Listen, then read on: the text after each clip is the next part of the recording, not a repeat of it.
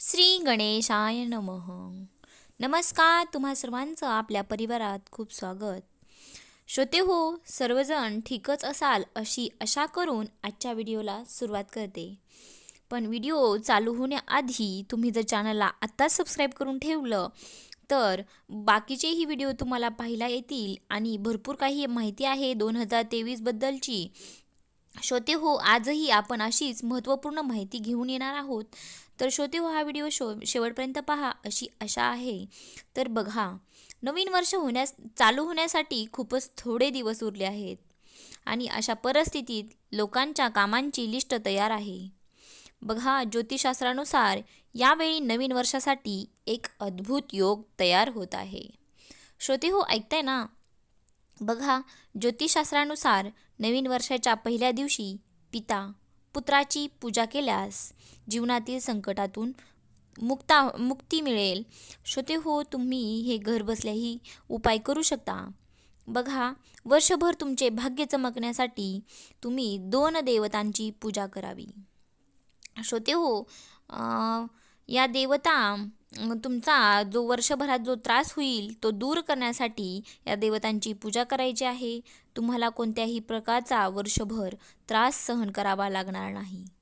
चला तर जाणून घेऊया वर्षाच्या पहिल्याच दिवशी कोणत्या देवताची पूजा केल्यास फायदा होईल. बघा. दसमी तिथी एक जानेवारी दोन हजार तेवीस रोजी येत आहे. दशमी आहे या स्थितीला या स्थितीत दशमीचा स्वामी यमराज आहे असे शास्त्रात सांगितले आहे. या स्थितीत दशमीचा स्वामी यमराजाला प्रसन्न केल्यास जीवनात तसेच मृत्यूनंतरही कोणत्या प्रकारचा त्रास सहन करावा लागणार नाही. श्रोते हो अशा परिस्थितीत नवीन वर्षाच्या पहिल्याच दिवशी यमराजाची विधिवत पूजा करावी. याशिवाय यंदा वर्षाच्या पहिल्याच दिवस हा रविवार आहे. आणि या अशा स्थितीत या दिवशी सूर्यदेवाची म्हणजेच आपल्या सूर्यनारायणांची पूजा करून काही उपाय केल्याने मनुष्याला सर्व पापांपासून मुक्ती मिळते. यमराज हे भगवान सूर्यांचे पुत्र असल्याचे सांगितले जाते. अशावेळी पिता आणि पुत्र दोघांची एकाच दिवशी पूजा केल्याने दुर्मिळ योग निर्माण होत आहेत. श्रोते हो तुमच्या लक्षातच आले आहे की सूर्यनारायणचा पुत्र हा यम आहे. त्यामुळे पुत्र आणि पिता यांची एकत्र पूजा केली तरी चालेल. आणि श्रोते हो पूजा कशी करावी? हा प्रश्न आता नक्कीच पडला असेल. तर बघा नवीन वर्षाच्या पहिल्याच दिवशी सूर्यदेव आणि यमराजाची पूजा करण्यासाठी ब्रह्ममुहूर्तावर म्हणजेच सकाळी लवकर उठायचं आहे. उठून पवित्र नदीच्या पाण्याने स्नान करावे. या दिवशी लाल रंगाचे वस्त्र परिधान करायचे आहे. आणि सूर्यदेवाला ब तांब्याच्या भांड्यातून जल अर्पण करावे. अर्घ्यामध्ये म्हणजे जे जल अर्पण करतो त्यालाच अर्घ असे देखील म्हणतात. अर्घ्याच्या पाण्यात कुमकुम लाल फुले लाल चंदन आणि इतर फुलेही मिसळावीत. तसेच जल अर्पण करताना काय मंत्र म्हणायचा तो देखील तुम्हाला सांगते. ऐका. ओम रीम रीम सूर्याय सहस्रकिरणाराय मनोवांचित फलम देही देही स्वहा. श्रोतेऊ हो, हा मंत्र मी डिस्क्रिप्शन बॉक्समध्ये देखील देत आहे कारण तुम्हाला तेथून वाचल्यानंतर अजूनच सोयीस्कर होईल. बघा तुम्हाला शक्य असल्यास या दिवशी सूर्यदेवाच्या मंदिरात जाऊन पूजा करावी. हा उपाय केल्याने तुमच्या अनेक पिढ्यांचा उद्धार होईल. तसेच तुम्ही अजूनही एक उपाय करू शकता.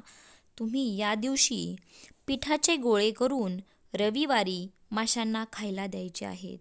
असे केल्याने तुमचे धन आणि तुमचा समाजात असलेला मान सन्मान नक्कीच वाढेल. याशिवाय यमराजाला प्रसन्न करण्यासाठी सूर्यदेवाला दूध आणि तूप अर्पण करावे. या दिवशी सूर्यास्तानंतर घराबाहेर यमाच्या नावाने एक दिवा लावायचा आहे. यासाठी दक्षिण दिशेला पिठाच्या चारमुखी दिवा लावून मोहरीच्या तेलाचा दिवा लावणे खूपच लाभदायक ठरेल. अकाली मृत्यूच्या भीतीने व्यक्तीला त्रास होणार नाही तसेच दीर्घायुष्यही वरदान होईल.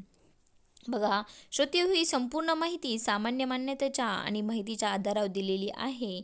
याला अशाच नवनवीन माहितीसाठी तुम्ही आपल्या चॅनलला सबस्क्राईब करा. आणि श्रोते हो कमेंट बॉक्समध्ये ओम सूर्याय नमः ओम भास्कराय नमः असे मंत्र लिहायला विसरू नका. आणि हां तुम्हाला अजून काही मनामध्ये प्रश्न असतील तर नक्की विचारा. मकर संक्रांतीचेही भरपूर व्हिडिओ चॅनलवर आहेत. तसेच आध्यात्मिकदृष्ट्या भरपूर व्हिडिओ बनवलेले आहेत. तुम्हाला नक्कीच आवडतील. श्रोते हो एकदा चॅनलवर जा. बाकीच्या व्हिडिओंची लिस्ट पहा. आणि प्लेलिस्टही बनवल्या आहेत. व्हिडिओ शेवटपर्यंत पाहिल्याबद्दल मनापासून आभार.